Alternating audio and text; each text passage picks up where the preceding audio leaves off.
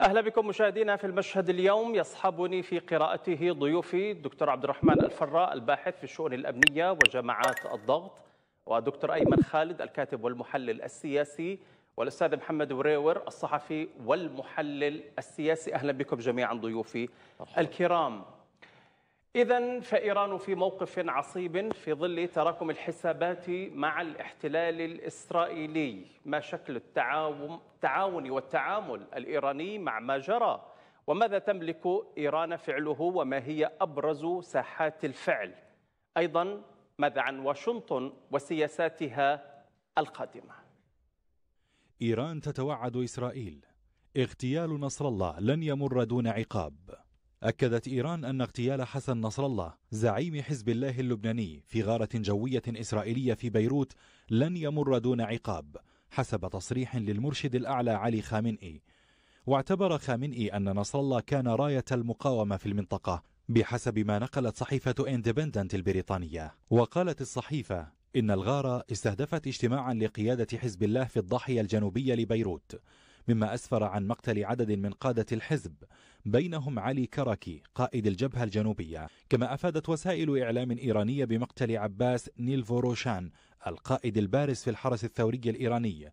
وتواصل إسرائيل هجماتها على لبنان وسط إطلاق حزب الله صواريخ نحو إسرائيل.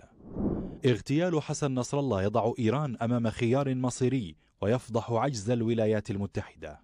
قالت صحيفة الجارديان البريطانية إن اغتيال حسن نصر الله الأمين العام لحزب الله اللبناني وضع الولايات المتحدة في موقف دبلوماسي حرج حيث لم تتمكن من كبح تصرفات حليفتها إسرائيل.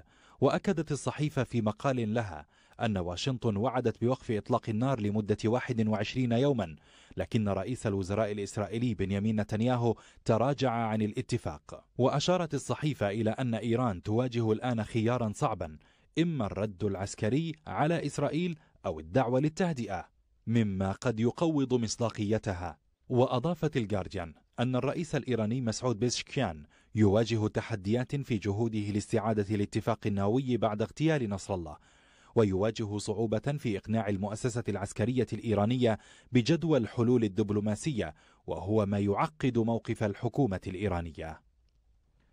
إذا أسئلة عديدة تدور اليوم حول مآلات الموقف الإيراني مما جرى في آه، بيروت ولبنان. لو بدأنا بالحديث بصورة مفتوحة كيف قرأت دكتور عبد الرحمن آه، الرد رد الفعل الإيراني على ما جرى آه، في لبنان؟ بالطبع المنتظر من إيران كان كبير جدا سواء عندما فقدنا الشيخ صالح العروري نائب رئيس حركة حماس في اغتيال مركز في الضاحية الجنوبية أو حتى عندما فقدنا الحج محسن اللي هو شكر يمثل رأس الهرم العسكري في قيادة المجلس الجهادي. أو عندما فقدنا إسماعيل هنية في طهران قائد حماس في طهران نعم. في قلب طهران في تقديري أن إيران في ذلك الحين عندما لم تسدد الحساب ولم تتحرك بالتحرك السريع الذي كان من المفترض أن تتحركوا والذي كان من المنتظر أن تتحركوا هنا بدأت آه، الجرأة تزداد عند إسرائيل بين قوسين نعم. وأصبحنا أمام هذا المشهد الكارثي لماذا هو مشهد كارثي لأن كل من ظهر في الصورة مناوئا لإسرائيل ومتضامنا مع غزة ومسندا لشعب غزة ومقاومتها اليوم هو يضرب واليوم بكل وقاحة وبكل بجاحة يخرج نتنياهو أمام الأمم المتحدة ويرفع صورتين. صورة تمثل خط التطبيع وخط الاستسلام لإسرائيل وللعلو الأمريكي والصهيوني في المنطقة وخط آخر يمثل ما تبقى ممن لديهم مخالب في هذه المنطقة. والمؤسف أن من تبقت لديهم مخالب في منطقتنا يعني يمثل آه، لون معين أو تيار معين في ظل آه، حالة التفرقة الشديدة التي ضربت الأمة العربية والإسلامية في ظل غياب المشاريع في ظل غياب الاستراتيجيات وحالة التيه التي أريد لهذه المنطقة أن تدخل فيها دمار هائل ضرب دولنا بعد أن كانت هناك ردة على ردة على الربيع العربي حالة من الجهد الأمني والاستخباراتي التي أجهضت الكثير من المحاولات والمشاريع منذ التأسيس وما يتعرض له الحزب اليوم وما نراه من حالة قد نشعر في لحظة من اللحظات أنها حالة انهيار آه، إنما هي بفعل جهد استخباراتي بذل فيه الغالي والنفيس وقادته أمريكا بنفسها نعم. منذ انتهاء حرب 2006 بل هو من قبل أن تبدأ حرب, جهد حرب دولي. 2006 وهذا جهد كبير نعم. ولا ننسى يا سادة أن 17 سنة غزة محاصرة وغزة تدفع أثمان باهظة ما بين الحين والآخر ولم يمضي آه، عام واحد دون قتال ولم يمضي آه، ولم يمضي عامين دون جولة حقيقية من القتال ومن استخلاص العبر والعظات إلا وكان الحزب طيلة هذه السنوات يعد العدة ولكن بالمقابل يشتغل عليه ويعمل نعم. عليه جهد استخباراتي وأمني وغير مسبوق نعم دكتور أيمن من البعض يقول من المبكر أن أن تحكموا على المآلات وأن الأمور في حالة انهيار وأن إيران وضعت الحزب على طاولة التفاوض فيما يخص المشروع النووي إيران ما زالت حاضرة. إيران تنتظر فقط أن تتضح الصورة وتنتفض الغبار لما جرى بقيادة الحزب وهي ضربة كبيرة جدا. نعم. بالتالي من المبكر القول عن أي تخل إيراني عن الحزب. طيب. شوف آه، أنا أعتقد بأن إيران تمر بأقصى حالات الاختبار. نعم. يعني اختبار ميداني اختبار سياسي اختبار إعلامي. كل الجهات هي الآن بأعلى درجات الاختبار لأنه هي اعتمدت يعني بتعاملها مع آه، إسرائيل على كتلتين قوية أنه يفترض وهي قوية فعلا حماس آه، في غزة وحزب الله في آه، لبنان. أعتقد بأنه موضوع إطالة يعني فترة الحرب بالدعم أنا أعتبره عالمي غربي وأمريكي لإسرائيل ممكن مثلا أن يشكل أداة ضغط عالية جدا مع مرور الأيام وهذا أعتقد ما شاهدناه بالحدث اللبناني. غير الحدث مع العلم أنه حماس يعني آه، والمقاومة في غزة أدت ما, ما عليها وما زالت تؤدي. لكنه حجم يعني امتصاص الحدث الحرب آه، وكأنه وكأن هذه الفترة كلها كأن حزب الله كان كذلك يستنزف. بأمانة يعني نكون يعني واضحين بحيث لما بدأت المعركة المواجهة بقوة استخدمت إسرائيل اللون الجديد الذي هو وهذا تكنولوجيا يعني هو ليس فيها آه، يعني في بداية حالة الصدمة لنقول فاستخدمت يعني موضوع الأجهزة الاتصال التي تفجرت بطريقة حتى مع يعني استخدام حتى هذه بقوانين الحرب يعني القوانين الجنائيه اللي تنطبق نعم. على مواد الحرب أنه هل تدخل مثلا يعني أجهزة الاتصالات اللي يفترض أنه بعضها مدنية أو مشتغل أو مأخوذة من شركات مدنية لكي يعني تعمل هذا الأمر. فهذا الضغط اللي اللي حصل على إيران أعتقد أنه إيران تمر بمرحلة جديدة. لكن هل يعني إيران الدولة التي اعتادت على مثل هذه المخاضات يعني كيف سيكون ردها؟ هل هي يعني تضمر شيئا أو أنها قد وفرت شيء من الطاقة لتظهر به. أنا أعتقد دولة بحجم إيران يجب أن يكون لديها هذا هل طبيعي هذا التأخر؟ يعني نحن نتحدث عن حدث ليس بالبسيط ليس بالهين. قد يقبل البعض ربما تأخر صدور بيان من حزب الله باعتبار أن التراتبية القيادية قد تكون كلها مستهدفة. لكن ماذا عن دولة بحجم إيران؟ لماذا هذا التأخر في الموقف؟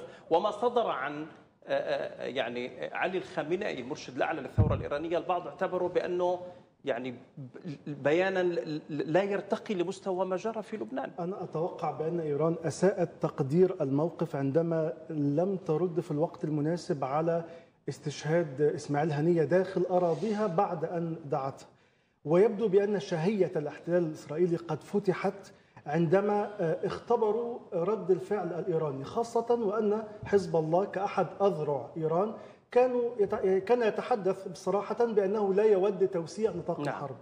ولديه ما يسميه قواعد الاشتباك أو نقاط الاشتباك لا يريد أن يتجاوزها أو يوسع هذه النطاق. ولكن على الجانب الآخر الاحتلال الإسرائيلي لم يكن يتعامل بهذا الأمر. كان آه، يتعامل بقواعد اشتباك أوسع وأكثر كان يستهدف القادة ويستهدف القيادة العليا سواء في المجالس العسكرية والجهادية أو حتى في السياسية. فبالتالي كان على إيران أن تعيد آه، تقدير الموقف بشكل سياسي وأن تضع الأمور في نصابها وأن تدخل في آه، آه، وأن تدخل في نطاقات أوسع في مواجهة الاحتلال الإسرائيلي. أمر آخر آه، آه، الاحتلال الإسرائيلي كما ذكر الدكتور عبد الرحمن وأيضا الدكتور أيمن هو يدرس حزب الله بعد عام 2006 وقبل ذلك أيضا. أي حزب الله لم يكن على دراية بذلك أو كان له انشغالات أخرى آه، لم يكن الاحتلال الإسرائيلي على رأس أولوياته. بمعنى ال- الاختراقات التي حدثت في البيجر وال- واللاسلكي يعني بما لا يدع مجالا للشك وأيضا التقارير الإيرانية تتحدث وجود جواسيس داخل حزب الله. عندما تكون إحداثيات بهذه الدقة ويتم استهداف رؤساء المجالس العليا ومج- ومجلس الشورى بهذه الدقة فهذا يدل على وجود اختراقات كبيرة. الاختراقات هذه لم يقم بها الاحتلال منذ 11 شهرا أو منذ عام. هذه الاختراقات تمت منذ عقود منذ سنين. أتحدث فالاحتلال الإسرائيلي يدرك تماما ماذا يفعل لديه أهداف واضحة.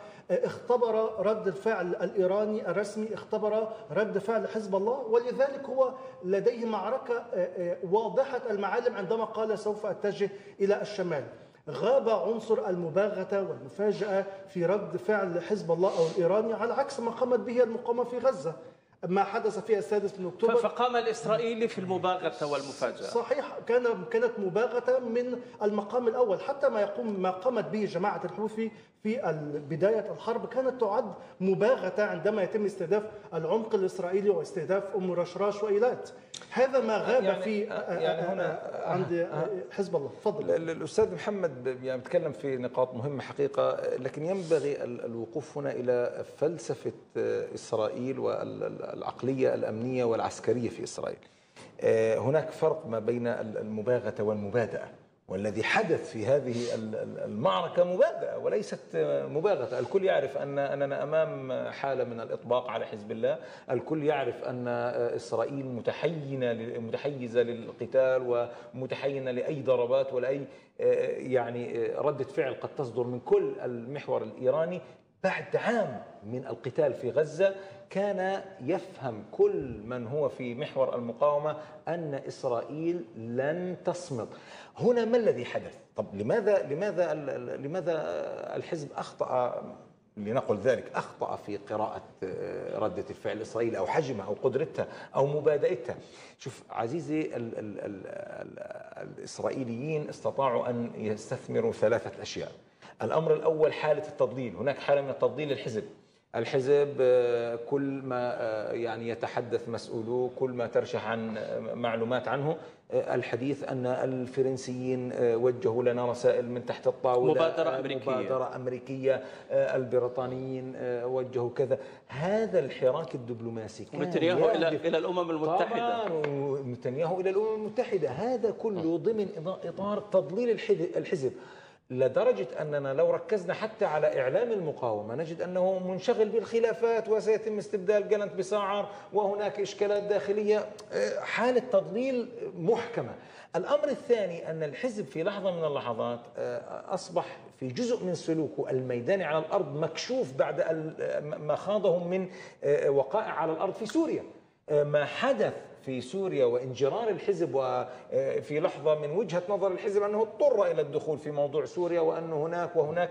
هذا بالمحصلة أيا كانت التفاصيل وأيا كانت الوقائع على الأرض ونحن أمام وقائع صعبة وليست بالسهلة إلا أنه وقع أمام حالة من الانكشاف انكشاف ميداني انكشاف عناصره من مسؤول الأمن من مسؤول الإمداد من, ليس من, من ليس الشخصيات ليس انكشاف فقط بسبب الظروف المحيطة هذا حتى واحدة بالفكرة منها. حتى بالفكرة طبعاً. لا أنا تأييدا لك أحسنت. حتى بالفكرة أنه اجتماع لمجلس قيادة الحزب اللي نسميه يعني آه، بهذه الظروف بهذا المكان المرصود الذي هو مكان صغير وأنا عشت فيه أيوة. يعني وكنت قريب سنوات أنا فيه يعني هذا حتى بالتخطيط أو الفكرة العسكرية هذا أعتقد- هذا ما أعتقد هذا ما. يمكن أن يطلق عليه أن الحزب صنع قبره بأيديه. تسع قيادات في يومين أو ثلاث أيام. هذه كيف كيف كيف هذه ال- ال- ال- الطريقة التي صممت بها الضاحية وفكرة إنك تعمل أبراج طويلة على اعتبار بدك تعمل تحتها بالأسفل منها آه، أوتوباركس آه، مواقف سيارات آه، سالب واحد واثنين وثلاثة وأسفل منها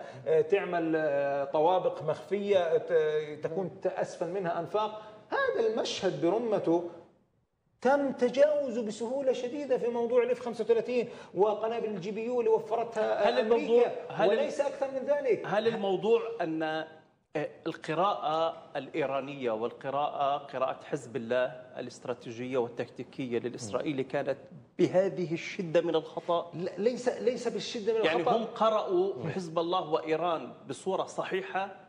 والعكس كان بهذا الشكل من الخطأ بحيث أنهم لم يتوقعوا ذلك؟ هل هل أنا- بهذا الشكل؟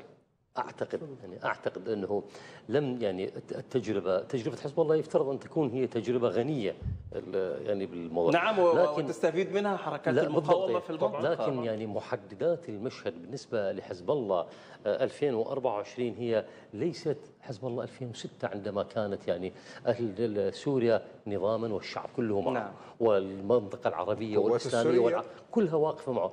الآن هناك الوضع مأزوم. لدى حزب الله. هذا أمر واقعي يعني. ولذلك حتى عملية يعني انتشار الحزب خارج آه، لبنان ليس فيه شيء من الثقة. وخصوصا أنه يعني في داخل آه، بوتقه هذه المعركة منذ آه، يعني آه، آه، آه، بدأت في 7 أكتوبر كذلك استفاد منها الحزب بأنه بانه انتشار عناصر حماس خارج المنطقة كذلك أذاها يعني. يعني وجود آه، أسماعيل هنية آه، رحمه الله. خارج ال- ال- المنطقة كذلك عرضه للاغتيال. لم تكن هناك ثقة إلا الانكفاء مع البعض. ويبدو أنه إسرائيل كانت تراقب هذا و- وفي التصريحات ماذا كانوا يقولون؟ كانوا يقولون هناك مجموعة من الضباط الإسرائيليين رصدوا آه، حركة آه، حسن نصر الله وقرروا في هذه المرة يعني تخطيط أو أو عمل كمين بحيث لا يفلت من المراقبة. وحتى البعض اعتبر أنه يعني ذهاب آه، نتنياهو آه، إلى ال- إلى المنظمة الدولية ها، كان نوع من يعني نوع من الأمور التي أغرت ربما حزب الله بأنه ربما إسرائيل نعم. لن تنفذ فلهذا إسرائيل هي قادرة على أن تلعب دور التضليل الإعلامي وتوجيه الرأي العام بالطريقة هي ليست اليوم منذ 48 فتحت الصحافة واشتغلت على الإعلام وغيرت وجهة النظر العالمية. فكيف 2024 نعم. أما وقد وقع ما وقع آه، آه، آه، خيارات إيران ما هي؟ يعني كان الحديث دائما أن الولايات المتحدة الأمريكية ترسل رسائل لطهران بعدم التدخل. ولنترك المسألة ما بين حزب الله وما بين آه، وما بين آه، آه، إسرائيل آه، خيارات إيران في ظل هذه الوقائع التي فرضتها تل أبيب الآن ما الخيارات؟ هو إيران لم يعد أمامها خيار سوى أن تقوم برد على العربدة الإسرائيلية سواء على اغتيال إسماعيل هنية داخل أراضيها سواء على ما حدث ل- لحسن نصر الله سواء على ما يقوم به الاحتلال بشكل عام من الاختراقات التي تحدث فهو وضع ال- الاحتلال وضع إيران في خانة اليك ماذا ماذا لو لم ترد إيران؟ ماذا سيحصل؟ واستمرينا بسياسة الصبر الاستراتيجي. إذا لم ترد إيران سوف تفقد آه، بريق بأنها آه، من تقود محور المقاومة. إذا لم ترد إيران سوف لن يكون هناك ثقة في حتى التحالف معها على ماذا ولماذا أتحالف معك؟ وأنت آه، في تقول بأنني أنا من أقود هذا المحور وأنت لا تستطيع أن تحمي أتباعك لا تستطيع أن تحمي من تدعوهم إلى آه، إلى إلى زيارتك. آه، أيضا سوف يؤثر ذلك على موقف إيران خليجيا. لا ننسى بأن دول الخليج لديها حساسية وتحسس من وجود إيران وبالتحديد السعودية. أتحدث فعندما يجدوا إيران بهذا الشكل الجرأة تقصد سنكون صحيح، أمام شكل من صحيح. أشكال وهو- الجرأة هو-. نفس ما حدث أيضا مع الاحتلال آه، آه، عندما آه، باغتتهم حماس في السادس من أكتوبر فقدت إسرائيل ال- القدرة على أنها القوى العظمى في المنطقة والتي تمتلك أقوى وأكثر اسلحه أسلحة تطورا في المنطقة فقدت كل ذلك وتحاول مع الوقت إعادة هذه الصورة من جديد إيران إذا لم ترد سوف تفقد هذه الصورة هل الرد هل الرد يعني حرب مفتوحة أم أن هناك رد دون الحرب المفتوحة من باب حفظ ماء الوجه؟ هناك أشكال من الردود لا تؤدي إلى حروب إقليمية لربما، هل يمكن أن تتبع إيران هذا المسار؟ إسرائيل عمليا أدخلت المنطقة في حرب نعم. مفتوحة لكن إيران اليوم كيف تتعامل مع نعم. هذه الحرب كيف تتعامل مع هذا العدوان المفتوح حتى نكون دقيقين هذا عدوان نعم. مفتوح نعم. من آه، نحن نجلس آه، الآن ونتحدث عن العدوان على الضاحية وعلى لبنان وعن المجازر المستمرة في قطاع غزة وتضرب الحديدة ويضرب نعم. ويضرب ال- العراق هذا المشهد برمته أمام عدوان مفتوح من إسرائيل لماذا؟ لأن إسرائيل اليوم بعد أن شعرت بخطر وجوده في 7 أكتوبر وجدت أنها يجب ألا تصبر ولو للحظة على وجود أي مخلب من المخالب من حولها. وهذه فرصة تاريخية لإسرائيل. من وجهة نظر من يقود اليوم ال- ال- الواقع ال- ال- الحكومي والعسكري والأمني في إسرائيل لاجتثاث وأنا أقول اجتثاث وليس فقط تقليم أظافر وليس فقط آه، آه، إصابة آه، يعني موارد بشرية أو موارد أنت تعتقد. الأمور في لبنان ذاهبه ال- الاجتثاث. اليوم اليوم إسرائيل بالنسبة لها يجب أن تجتث هذا ال ال ال الوجود ال- المعادي لها في المنطقة، وهنا ننسحب إلى ما تفضل فيه الأستاذ محمد وسبق الدكتور أيمن أشار له مسألة ما الذي من الممكن أن تصنعه إيران؟ إيران التي تنطلق في تفكيرها تجاه هذه ال- ال- ال- المنطقة وتجاه إسرائيل بإستراتيجيتين. الاستراتيجية الأولى استراتيجية الصبر الاسترا- الاستراتيجي هو آه، يتلقى ويستوعب كل الضربات. هذا المشهد اللي خرج ابن نتنياهو قبل آه، أيام قبل يومين. ما هو قبل ثلاث سنوات وقف في نفس المكان وقال ها هو الأرشيف النووي الإيراني بين أيدينا ماذا صنعت إيران؟ اغتال فخري زادة في قلب آه، إيران وما الذي صنعته إيران؟ اغتال قاسم سليماني والحاج مهدي ما الذي صنعته إيران؟ هذا المشهد برمته كان محكوم لي الصبر الاستراتيجي الذي يعتمد على المشهد على ال- الاستراتيجية الأخرى وهي استراتيجية الضربه القاضية، إذا لم ننجح من تحييد كل كروت آه، إسرائيل الرابحة من اليوم الأول لن نستطيع في قتالها، لأن إيران تدرك أن قتالها لأمريكا هو عبارة عن قتال مع كوم مع اكوام من الحديد المتناثر حولها في المنطقة العربية وهذا أمر خطير جدا بالنسبة لدولة لا عمق ولا امتداد لها في ال- ال- الإقليم والمحور. اذا اذا يعني هذا يدفع إلى تفهم عدم ذهاب إيران للفخ الذي ينصبه بنيامين نتنياهو. لماذا أذهب إلى الحقيقة- فخ ينصب لي بالتالي فكرة الصبر الاستراتيجي هي من الذكاء في دولة لا تريد الذهاب تفكر. للمهلكة إيران تفكر تفكير حقيقي بأنه مراحل المواجهة عندها مقسمة إلى أقسام هي قد قد يكون هي ذهبت إلى هذا التقدم لأنها تعرف هي مقصودة فتريد أن منذ احتلال العراق إيران تغيرت استراتيجيتها إلى البحث يعني ليس بالسياسة الخارجية الناعمة بل بالقوة العسكرية بما تستطيع. فمن دخلت بالعراق هي عرفت هي الهدف الثاني بعد العراق. ولو تأتي إلى طبيعة الصراع لو وجدت الصراع في المنطقة بدأ في عام 1978 79 بدأ الموضوع بين العراق وإيران وبدأت أمريكا تنظر إلى هذا الوضع. فهي أرادت أمريكا أن تستحوذ أو أن تأخذ عصرها الإمبراطوري.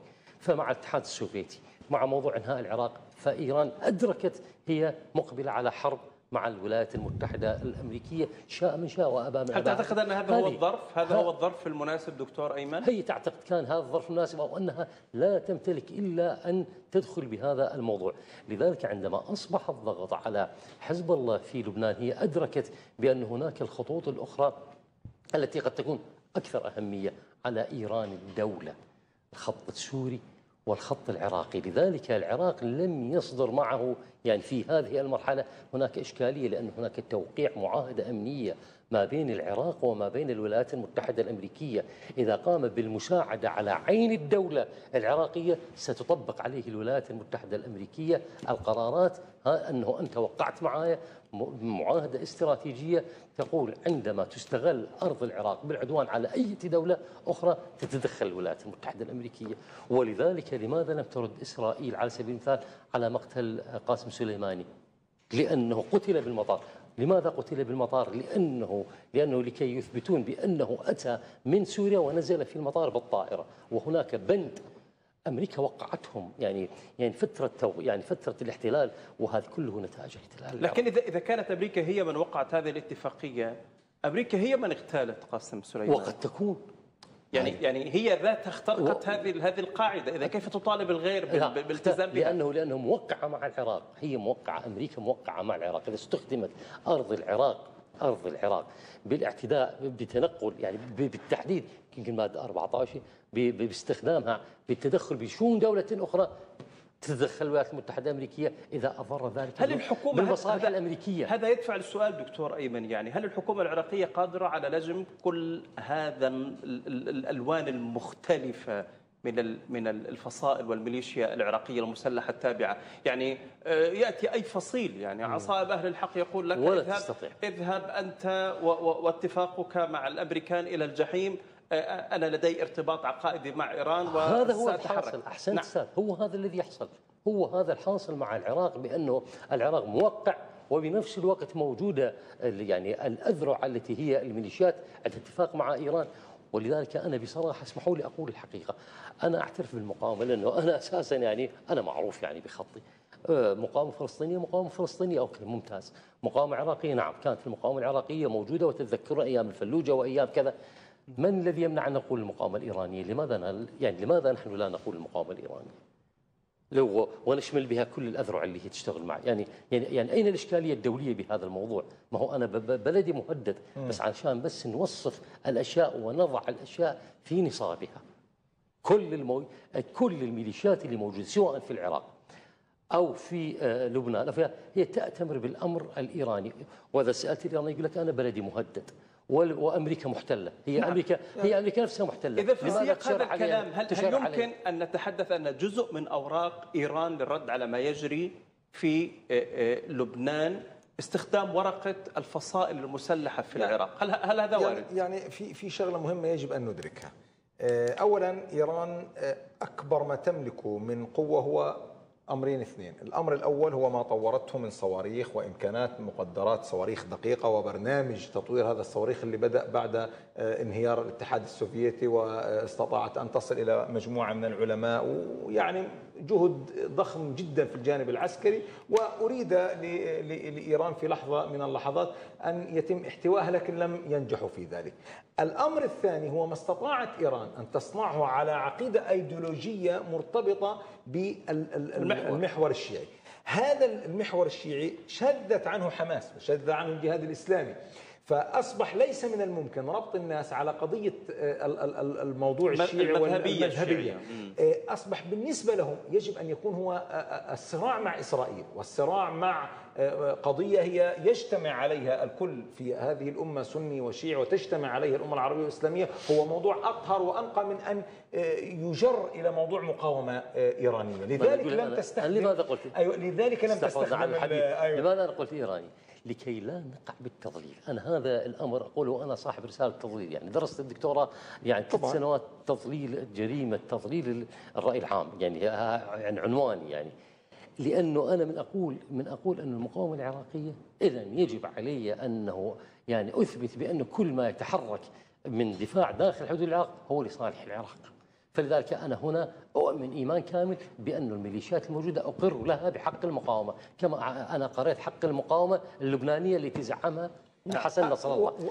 أما إذا أن يعني هنا هنا اشكاليه يعني هنا إشكالية يا جماعة كبيرة. يعني انه أنه الآن عندنا إحنا نتحدث عن اليمن. من من روح الشرف ها؟ أن اليمن تدافع عن فلسطين. طبعا. هذا أمر آه يعني قولا واحد بدون من دون شك يعني. لكنه إذا أنا عرفت ها بأنه يعني الحوثي هناك يعني هو يتحرك بالنتيجة مع محور هو يعلنه وإيران تعلنه كذلك يعني. فهنا صار تصادم ما بين الدولة وما بين المقاومة كما هو. طيب من أين الجيش اللبناني الآن؟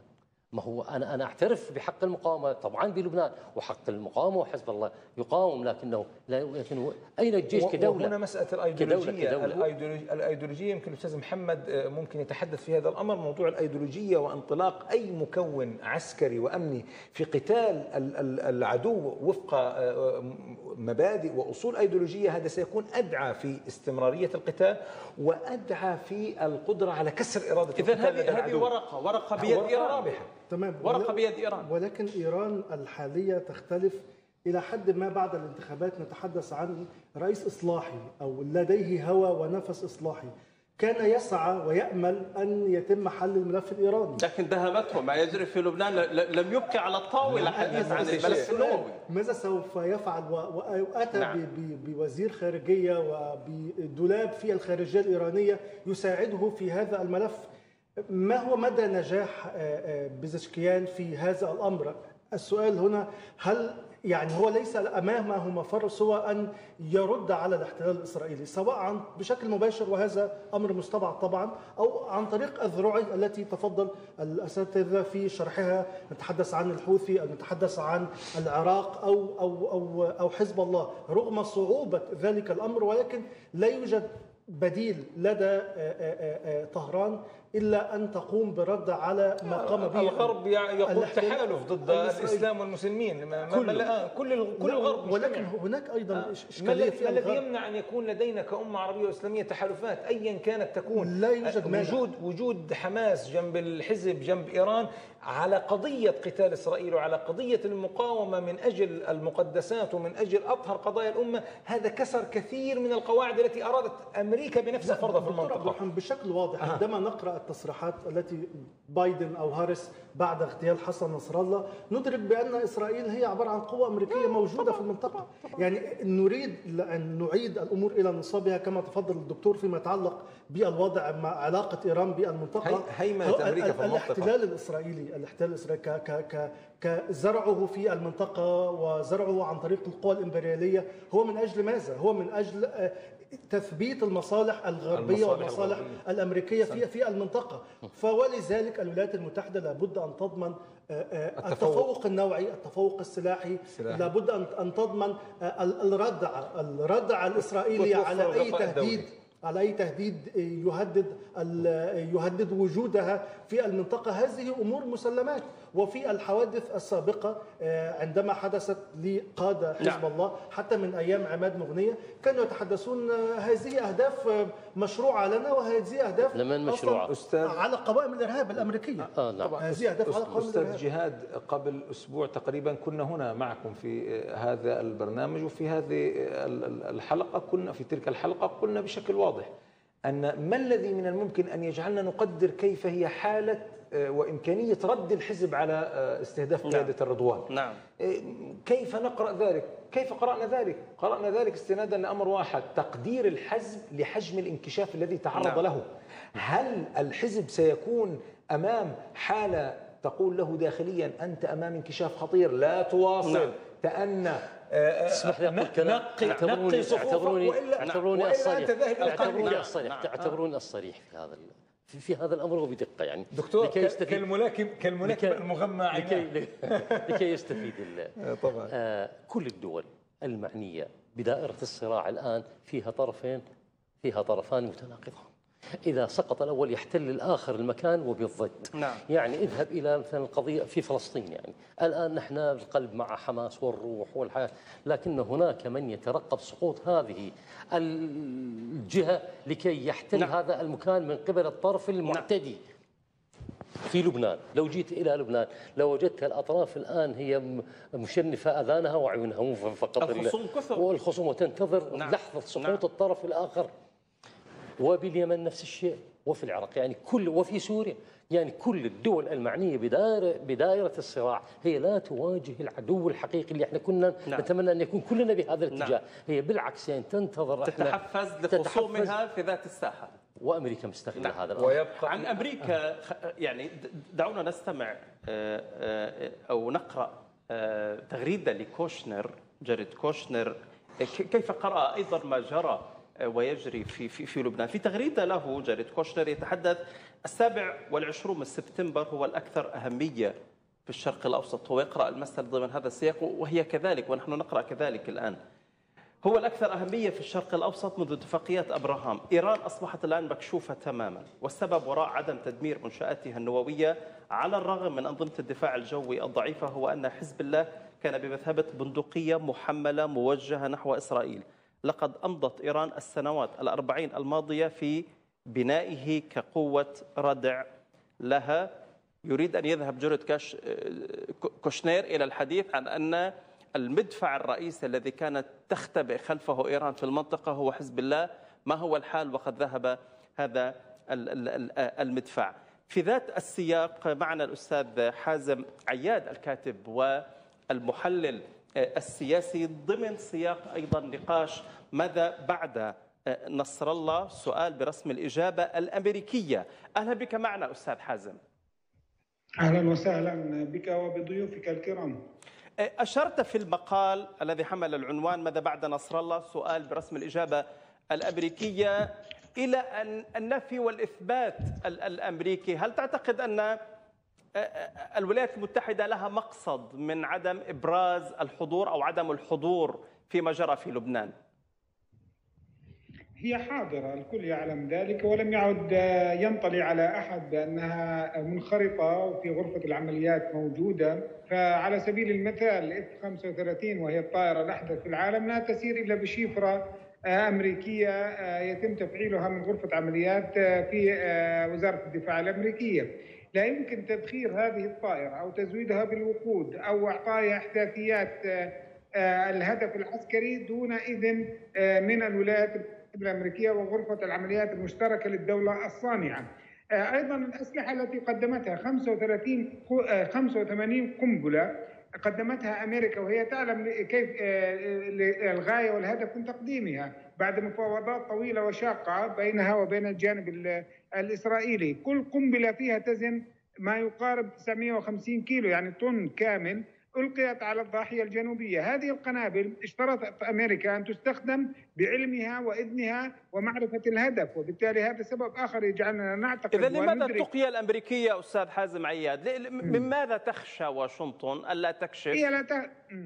ممتاز. هي لا تخ... هي هي عمليا لا تخشى. هي مش م... يعني ضالعة في في العملية العسكرية وفي تحديد الأهداف الكبرى ووضع الاستراتيجية العامة والكبرى والخط... الهادفة لتحقيق أهداف إسرائيل الوجودية والمتعلقة أيضا بتأمين إسرائيل ل 30 أو 50 عاما القادمة. وهي نقطة مشتركة بين الإدارة الأمريكية وبين الدولة العميقة وبين الجانب الإسرائيلي ما تريده أمريكا هو الاحتفاظ بدورها السياسي على صعيد الإقليم تقدم نفسها كوسيط كلاعب سياسي يقدم عروضا سياسية هذه العروض عندما تتفحصها جيدا تجد أنها هي ذات الشروط الإسرائيلية تأتي بها أمريكا وتقول هذه مبادرة نقدمها للبنانيين عليهم الانسحاب عليهم فصل الجبهات عليهم عادة النازحين وتقول أن هذه مبادرة أمريكية أو فرنسية نعم. بطريقة خبيثة وتافهة. أمريكا تريد أن تحافظ على هذا الدور وإن كان مكشوفا بعد مرور أكثر من عام أقل من عام بقليل بأيام على دبلوماسيتها التي باتت يعني محترقة. بل إن يعني مدة صلاحية بايدن انتهت عمليا حتى ومصداقيته حتى هو لا يصدق نفسه عندما نعم. يصرح. فبالتالي لا أحد يصدق الإدارة الأمريكية بهذا الجانب. هي تريد طب أن تلعب دورا بذات الوقت أستاذ حازم انت أنت ربطت سؤال مقالك يعني ماذا بعد نصر الله؟ سؤال برسم الإجابة الأمريكية. لماذا على الولايات المتحدة الأمريكية هي من تجيب ماذا بعد؟ أنها تعلم ماذا بعد لأن هي من وضعت خطة الحرب. هي من وضع هي لم تعطي الإذن بالهجوم على الضاحية الجنوبية دون أن تكون تعلم بدقة ما المراد من ذلك. ليس كوشنر الوحيد الذي قال ان ان أن حزب الله إيران باتت مكشوفة نعم. إيران هي السمكة الكبيرة المفاعلات النووية الإيرانية هي السمكة الكبيرة والهدف الكبير لنتنياهو الذي يريد أن يصطاده في كل هذه الفوضى وفي كل هذه المواجهة ويعتقد بأن القضاء على إيران يعني تأمين المنطقة 30 عاما قادمة ويمكن التعامل مع تركيا من خلال انقلاب آخر ويمكن تطويع المنطقة واستكمال مشروع الترانسفير بسهولة في الضفة الغربية. يعني يعني هو يعتقد أنه يتحكم بكل شيء هو والإدارة الأمريكية وهناك درجة عالية من الغرور بعد ما حدث في الأيام القليلة الماضية. ولكن دعني أقول نعود إلى قضية حزب الله ودوره. نعم حزب الله يمثل عائق كبير أمام استراتيجية إسرائيل للذهاب نحو إيران وهذا ما ما كشفه كوشنر ولكن أيضا كشفه كينيث ماكنزي قائد المنطقة الوسطى في الأعوام 2019 2022 في محاضرة طويلة ومطولة له وقد نشرت في مركز الأمة وترجمت يعني قال فيها بوضوح أن حزب الله يملك قوه ناريه كبيرة وأن يعني يمثل بالفعل عائق أمام الإدارة الامريكيه وأمام الجانب الإسرائيلي للذهاب بعيدا في حملة عسكرية ضد إيران. هم هذا ليست موقف كوشنر هذا موقف حتى الدولة العميقة والمؤسسة العسكرية الأمريكية. لذلك هناك درجة عالية من التوافق بين المستوى السياسي والمستوى العسكري في اعتبار في استهداف إيران. إيران تدرك بأنها مستهدفة. لذلك هي تدير المعركة وتحاول أن توقف الجانب الإسرائيلي والأمريكي على الجبهة اللبنانية على الأقل أو في الجبهة الفلسطينية وتلقي بثقلها في هذا الجانب ولا تريد أن تشتبك مباشرة لكن لديها أيضا أوراق أخرى. يجب أن أن نقول أن ليس حزب الله هو يعني الخط الدفاع الأول والأخير. نعم هو خط الدفاع الأول والأخير في فيما يتعلق بالهجوم على إيران ولكن هناك خطوط دفاع أخرى. هناك إدراك بأن إيران قادرة على تصنيع قنبلة نووية بل أن هناك من يقول بأنها تملك قنبلة اختبارية ليست حربية لا تصلح للاستخدامات الحربية ولكنها قادرة على إجراء اختبار نووي دون امتلاك قنبلة نووية. هي تستطيع أن تعلن بأنها غيرت عقيدتها النووية في حال مهاجمتها. وهذا ما يقلق الإدارة الامريكيه أن لا يؤدي الهجوم على إيران إلى تحقيق قيم اهدافه وأن تقفز ايران قفزة كبرى باتجاه الإعلان عن عن نفسها كدولة نووية كرد على هذا الهجوم العنيف عليها. الجانب الآخر الذي قد يردع الجانب الأمريكي أن أمريكا تعلم أن روسيا والصين لن تسمحا بسقوط إيران. فإذا سقطت إيران سيسهل على أمريكا فرض شروطها على دول الخليج العربية وأن تقول بأنني أنا الراعي الآن للأمن والاستقرار في المنطقة. نعلم كيف لعبت الصين وروسيا دورا في تهدئة العلاقة وفي وقف الاستهدافات للسعودية ولمنشآتها النفطية. كان الدور الروسي والصيني دور بارز. نعم. ولولا في هذه النقطة لأهميتها أستاذ حازم عياد في هذه يعني بس أضيف أضيف أضيف قضية حتى أستكمل. لذلك سقوط إيران بالنسبة لروسيا والصين يعني ضعاف تأثيرها ويعني أن أمريكا تستطيع محاصرة الصين وتمنع وصول النفط إلى الصين. هذا سيؤدي إلى موت اقتصادي للصين وتمنع عنها الأسواق العربية وتوقف طريق الحرير في حال نجاحها في مخططها. لذلك هم غير معنيين بسقوط إيران. كذلك روسيا. سيعني ذلك أن أمريكا تستطيع أن أن تجبر الدول العربية على الخروج من أوبك بلس لأن ما يدفع السعودية للتمسك بأوبك بلس أن العلاقة مع روسيا مفيدة لها في العلاقة مع إيران في القدرة على ضبط سلوك إيران أيضا. لذلك ما تريد أن تفعله أمريكا هو إخراج إيران وما تريده روسيا أن تبقى والصين أن تبقى إيران. وإذا تجرأت أمريكا وذهبت إلى ما هو أبعد من من ضرب حزب الله إلى ضرب مباشر لإيران وتدمير مفاعلها النووي والقضاء على مشروعها النووي بالكامل من خلال العمل الاستخباري الذي ظهر أنه خطير جدا وقد يعني يجرد إيران بالفعل من قدرتها على إعلان نفسها كقوة نووية فإن روسيا والصين ستوفران لإيران كل السبل لاستنزاف الولايات المتحدة الأمريكية وتحويل الإقليم إلى مستنقع. هناك يعني العديد من الحلقات على أمريكا ان تكسرها حتى اللحظة تظهر أمريكا بأنها في نشوة هي وإسرائيل ويظن الطرفان وعلى رأسهم كوشنر الذي إن جاء إلى السلطة فسيذهب بعيدا وراء هذه الأجندة. ترامب سيلقي بكامل ثقله وراء الأجندة أجندة نتنياهو الهادفة للصدام المباشر مع طهران. إسرائيل قطعت جزء كبير من المسافة باتجاه للذهاب إلى حرب إقليمية. للذهاب إلى مواجهة ستورط الإدارة الأمريكية عن وعي وإدراك بهذه الحرب. أمريكا أيضا فقدت جزء من العقل السياسي المنطقي وهي أيضا لا تقل خطورة عن عن الجانب نعم. الإسرائيلي، لذلك يجب أن لا نراهن على العقل ما حدث خلال الأسابيع القليلة الماضية يثبت أنهم قاد... ان أن حالة الجنون ويعتقدون ان أن الجراءة والشجاعة هي ما سيمكنهم من تغيير الواقع الجيوسياسي وأن يتطلب الأمر المزيد والمزيد من الجراءة، لذلك علينا ألا نراهن على العقل، علينا أن نراهن على الجنون الذي آه، بلغوه بلغ مستوى عال لدى الطرفين الأمريكي والإسرائيلي، فالمنطقة ذاهبة يعني بشبه ما يقارب اليقين ذاهب نحو تصعيد كبير آه، على وكل الأطراف آه، باتت تستعد له حتى الجانب الروسي والصيني، أما على الجانب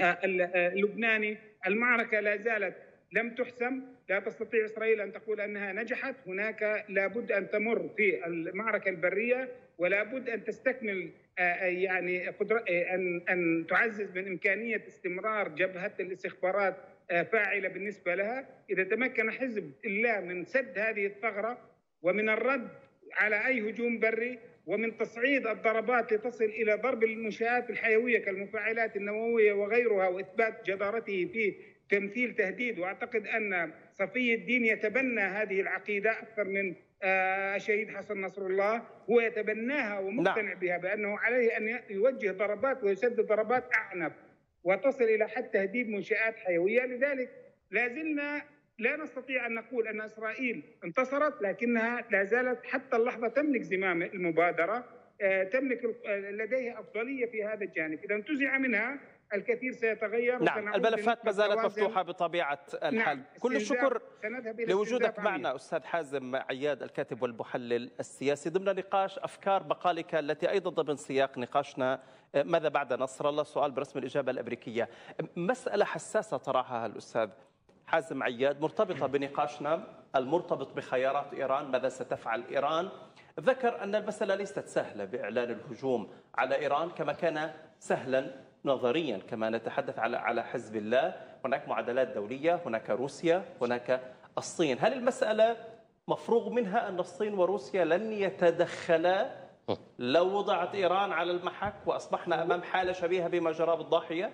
ليس على الإطلاق وعلى العموم ولكن في حدود لا يوجد آه، شراكة استراتيجية أنك إذا تم الاعتداء نعم عليك نعم لا, لا يوجد حلف أمني ما بين صحيح روسيا صحيح. والصين وإيران. ولكن يعلم الجميع بأن إيران مثلا تقوم بإرسال وتصدير الصواريخ يعني هي المصالح. فقط صحيح. لغة المصالح. صحيح. ولكن إلى إلى أي مستوى؟ لابد أن يدرك موسكو وتدرك بكين إلى أي مستوى تستطيع أن تفعل ذلك مع إيران. بالواقع والوضع الراهن إيران في أزمة شديدة. عليها أن تبدي استعداد وأن تري الآخرين وأن تري الحلفاء بأنها تستطيع أن تقف على أقدامها وأنها لديها القدرة على الرد. ولكن السكوت بهذا الشكل لأن الحرب يعني أظهرت بأن إسرائيل تعلم كل شيء عن إيران. نعم. ولكن الجانب الإيراني ومحور المقاومة بشكل عام لا يعلم لا يعلم أي شيء على الاحتلال الإسرائيلي. أمر آخر يعني شاهد عيان ما بين غزة وما بين ما يحدث من حماس وما بين حزب الله. حماس آه، آه، آه، بصعوبة شديدة يستطيع الاحتلال أن يستهدف أحد القيادات العليا ولكن بسهولة شديدة استطاع الاحتلال أن يستهدف كافة الصف الأول في المجلس الجهادي والعسكري في لحزب الله. بسهولة شديدة استطاع بث الاحتلال يعني بصعوبة شديدة استطاع أن يبث جواسيس داخل غزة ولكن الأمر كان أسهل كثيرا فيما يتعلق بإيران وأيضا بحزب الله. فمعادلة مختلفة أصعب كثيرا بالنسبة إلى إلى إيران. هذا هذا يسحبنا للحديث عن حقيقة وجود يعني اتزان في النظام الدولي. النظام الدولي اليوم مختل. أنا تماما آه، لا أتفق مع إمكانية إنه آه، يعني أن روسيا روسيا, روسيا والصين, والصين. لا ابدا ابدا. اليوم فقط هناك مصالح مشتركة. نعم. هناك آه، يعني رغائب وهناك تمنيات مختلفة تسهيل تكنولوجيا بيع تعتقد ان بيع ان ايران إيران ستترك لمصيرها؟ بيع استخبارات وأمن ولكن اليوم روسيا تغرق في أوكرانيا هذه روسيا العظمى هذه الدولة التي كانت قطب أمام أمريكا تقف عاجزة أمام كييف؟ ما, ما الذي يحدث؟ مع أنها تقرأ أنها استطاعت الصمود ثلاث سنوات في وجه آه الناتو أي صمود هذا؟ نعم. حقيقة شيء مخيف إيران شيء مخيف. دولة جديدة. طبعا إيران أيضا هي تعلم أنها إذا ما فرضت مواجهة إما أن يعني تذهب إلى خيارات وأنا يعني أثني على ما تفضل به الأستاذ الكاتب قبل قليل الاستاذ حسن. إما إيران أن تذهب إلى النهاية في الدفاع عن ذاتها لأنه آه، اليوم لا تراجع عن لا, لا يوجد المؤشرات لا يوجد مؤشرات أن السياسة الإيرانية تتبع هذا النمط. إذا ما دخلت في هذه نعم. المعركه لاننا نتحدث عن السمكة الكبيرة. مم. أما حالة التوريط التي يقوم بها نتنياهو الآن نعم. وهنا أنا اسمح لي اسمح لي ان ان أن أشير لمسألة. ماذا نقرأ استهداف ميناء الحديدة هل في ميناء الحديدة موجود عبد الملك الحوثي؟ هل في ميناء الحديده اشارات لا استهداف ميناء الحديدة هو أمرين، الأمر الأول هو إصرار على التوريط، هو يريد رد والآن يصدر الحوثي وجماعة أنصار الله تصدر تصدر الآن فيديو جديد يتحدث عن مسألة الرد والرد قادم والرد حاسم. الأمر الثاني والأخطر إيهام للحوثي أن أهدافنا هي الأهداف المعلنة والمعلومة. أنا لا أعتقد أن إسرائيل التي تملك كل هذا الحجم من الاستخبارات والتي تملك حالة من التنسيق الواحد مع الأمريكان والبريطانيين لا تملك أهداف استخباراتية دقيقة في اليمن. لكن هذه الحالة من التضليل للحوثي وهذه الحالة من الإيهام. تريد أن تورط أكثر من ذلك ومن ثم تلتفت بعد سهام الشمال تلتفت التفاتة كاملة إلى إلى اليمن ولا سمح الله طبعا نبقى نسمع اغتيل واغتيل وسقط وضرب وأستهدف. هذا المشهد إذا لم يستدرك من محور القدس الذي يصر دائما مستخدمو مسألة المحور على الحديث عن محور القدس إذا لم يستدرك هذا المشهد برفع كروت حمراء في وجه إسرائيل وفي وجه حلفائها في المنطقة فهذا يعني أننا أمام سقوط استراتيجي في المنطقة. نعم. ايران وروسيا أنا أعتقد روسيا والصين خلف إيران ورقة تستخدمها إيران؟ شوف إيران تدرك بأنها في ضمن فكرة العلاقات الاستراتيجية هي ابنة منطقة الشرق الأوسط. نعم. والسياسة الخارجية لإيران تبنيها مع السعودية ومع العراق ومع سوريا غير السياسة الخارجية اللي تبنيها مع الولايات المتحدة الأمريكية. ليست هناك مشتركات حدود مع الولايات المتحدة الأمريكية. ليست هناك لأن عناصر السياسة الخارجية ما بين الدول بعلاقات دولية هي تبدأ أصلا يعني بالجغرافيا. وبعدين بالعلاقات التاريخية وعلاقات الثقافية كلها معدومة فقط علاقات القوة اللي هي تأتي بآخر عناصر العلاقات نعم. الدولية التي هي القوة العسكرية والقوة الاقتصادية فإيران تدرك أن علاقتها مع الصين وعلاقتها مع روسيا وعلاقتها مع الولايات المتحدة الأمريكية معتمدة على معادل القوة والمصلحة لكن علاقتها مع الشرق الأوسط ومع الدول العربية علاقة تاريخية. فلذلك هي أنا أعتقد أنه وهي تدرك بهذا الأمر. كان كان أنا أقول كان على إيران أن تدرك هذا الأمر وتجعل بشتى الطرق أو حتى بالنسبة للأنظمة العربية أن تجعل أنه لكي يعيشوا ها لأن هذه علاقة متداخلة بها حدود بها علاقات بها تكافؤ على الأقل بها تكافؤ. لذلك أنا أعتقد أنه أمريكا ليست حريصة لا على منطقتنا ولا حتى على إيران مقابل أن تحصل على مصادر الطاقة وعلى المال. ولذلك الإشارات يعني بالأخبار اللي قاعد نتناولها من خلال يعني ضرب الصواريخ الحوثية قالت الولايات المتحدة الأمريكية بتصريح رسمي.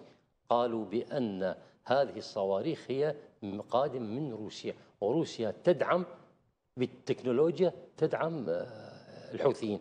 لذا إذن اذا اذا الولايات المتحدة الأمريكية أهدافها أبعد مما نفكر، يعني حزب الله على سبيل المثال يفكر الخلاص بموضوع الحدود، هل أنا أدفع بال بال بال بالإسرائيليين عن الحدود الشمالية أم أنه أستطيع أن أترك مثلا اللي هي آه، الشرق ولا غرب الليطاني شنو نقول عليها؟ نعم. بين شمال الليطاني بين شمال الليطاني بينما الولايات المتحدة الأمريكية تتحدث عن ماذا؟ تتحدث بأن هناك علاقة ربما ما بين ما بين روسيا وما وما بين تجهيزها للحوثي. إذا مراميها أبعد من المرامي لحزب الله. فلذلك من نقرأ الاستراتيجيات نقرأ استراتيجية أمريكا غير ما نقرأها ما نقرأها لإيران. الإيران إيران الآن تدرك تماما بأنه الموضوع صار على الحدود. نعم. على الحدود طبعاً. لأن هناك حالة يعني بأمانة حالة يعني اختلال كبيرة موجودة في حزب الله الذي كانت تبني عليه بناء كبير يعني حزب الله 2006 حزب الله 2008 و9 لما آه، أصبحت الأحداث بغزة آه، ولما أصبح الحدث السوري ال- الذي إحنا ندين هذا الأمر باعتبار أنت تعرف يعني أنه إحنا لدينا إحنا لدينا عندما يقال إلى أين تتجه يعني البوصلة نعم, نعم، إحنا نعم. تعودنا نقول بوصلة فلسطين كأرض لكن البوصلة تنت- تتجه عندنا إلى الحريات نعم. إلى العدالة صح فلذلك هذا الخطأ الكبير اللي اللي اللي, اللي وقع به الحزب من من انحرفت ال- ال- البوصلة على إلى إلى موضوع الثورة هنا يعني بدأ بدأ الحقيقة التراجع واستغلت هذا آه، إسرائيل هل كانت تحلم إسرائيل في يوم من الأيام ها أن هناك من يصفق من يصفق لاغتيال آه، أحد من ال طبعاً. لكنه عندما تجي تجي تخليها في الميزان تراها تقول هم باب المصلحة يعني هذا يقول جيد أيضا ان ننتبه أن المشهد ليس قاتم إلى هذا الحد آه، نتنياهو يقف في الأمم المتحدة أول أمس ويتحدث عن البقاء بعد 77 سنة من تأسيس إسرائيل بين قوسين نعم.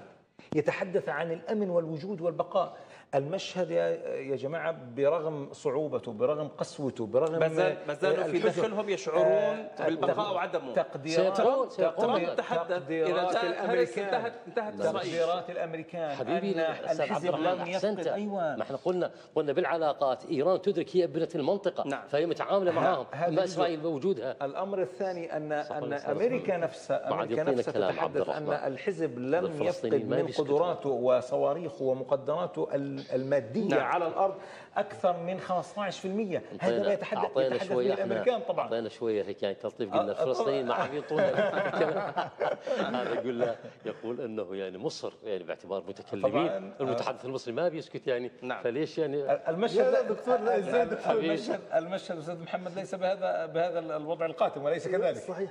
ولكن هو ليس بهذا الوضع القاتم ولكن في معادلة صعبة. يعني لابد أن نعترف بها. حتى ولو انفض عدد كبير من الدول في الاستماع لكلمة نتنياهو واصبح منبوذا دوليا. ومن المفترض نأمل أن يتم محاكمته قضائيا تحت أي صعيد دولي. ولكن ال- الواقع في في غزة على سبيل المثال وما وما يحدث في ضرب محور. المقاومة وما يحدث المعادلة ما بين حماس وحزب الله في التسليح هي فجوة كبيرة نعم. جدا بين كلا الطرفين عندما نرى الهالة التي كانت عند حزب الله تسقط بهذه السرعة حزب الله اذا لم تستخدم الصواريخ التي لديها في استهداف نعم.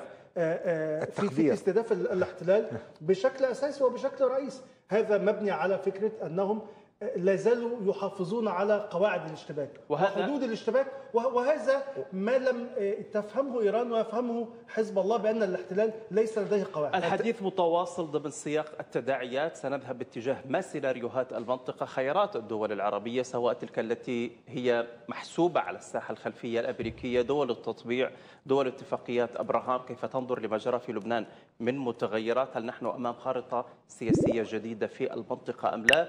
كل هذا الحديث مشاهدينا سيجري بحثه في الساعة الثانية لكن بعد هذا الفاصل.